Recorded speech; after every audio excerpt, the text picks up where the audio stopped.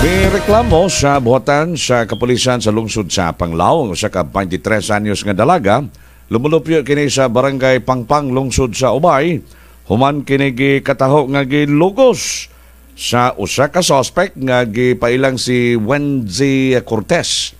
30 anyos ulitaw lumad nga taga Tigbawan Lasi Sikihor.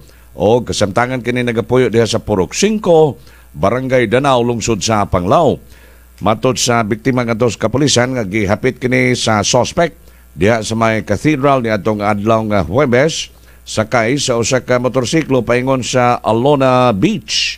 Apan pagka alas 11 sa gabi uh, mihangyo kini nga biktima nga magpahatod una uh, magpahatod na unta og uh, balik.